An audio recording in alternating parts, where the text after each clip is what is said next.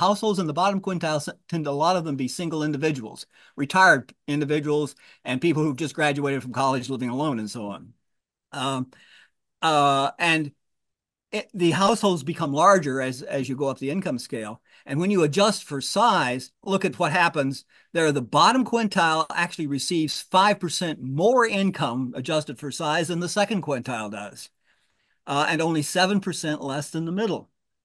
So here in the the 40% of the population in the second and third quintiles, that 40% of the population are working hard. Lots of people are working and they're working full time.